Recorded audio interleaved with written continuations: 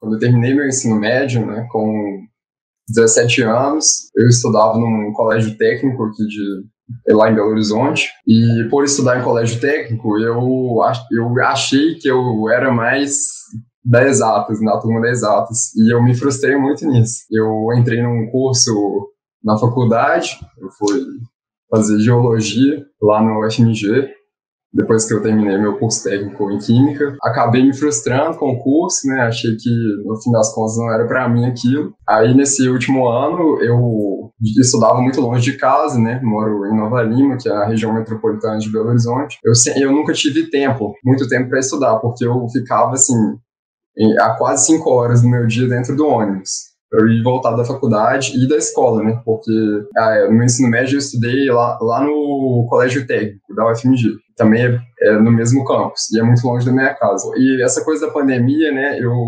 começou e tal e eu vi que eu podia tirar algum proveito disso. Então eu decidi que eu ia estudar para prestar o vestibular, né? Já que eu estava insatisfeito com o meu curso. E aí eu é, consegui, eu já tinha trancado um semestre da minha faculdade, então eu não podia trancar outro. Eu acabei conseguindo conciliar as coisas, porque eu estava dentro de casa, estava acostumado a não ter tempo para nada, ficava o dia inteiro no ônibus, né? E agora eu tinha muito tempo.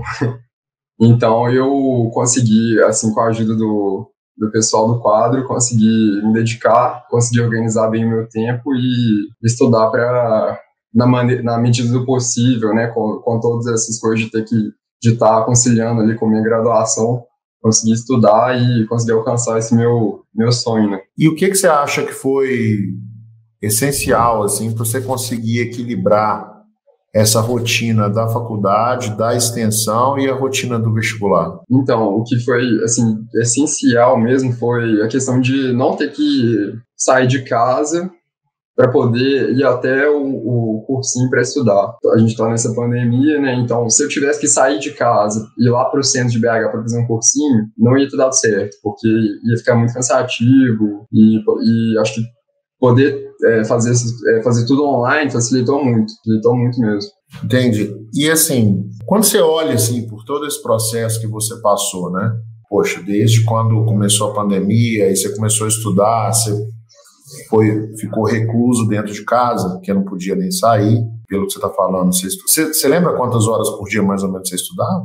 Eu só conseguia dedicar para o cursinho quatro horas, porque eu tinha que, igual eu falei, eu tinha que trabalhar né, na, na, na extensão do no museu que eu fazia e fazer as minhas coisas do, da faculdade.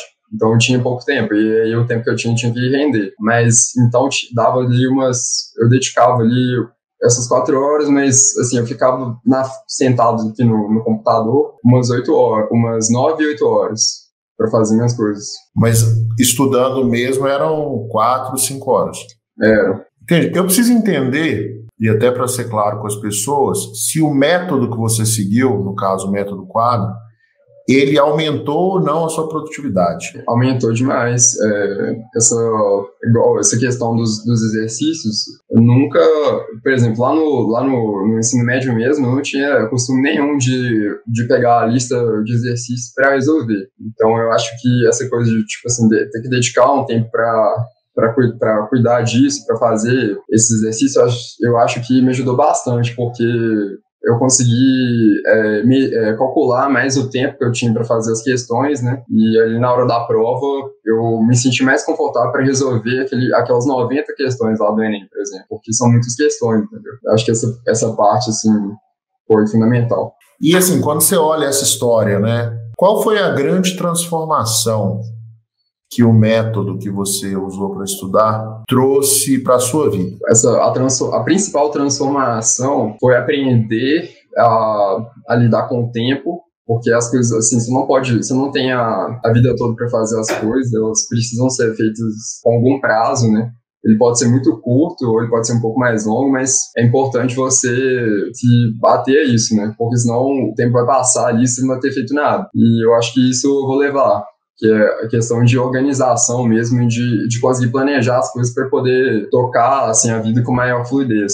Porque se, é, se você ficar postergando demais tudo, é, essas coisas uma hora você vai ter que fazer, entendeu? E aí pode ser que você não consiga fazer com muita qualidade. Então, eu acho que esse controle assim, é, é importante.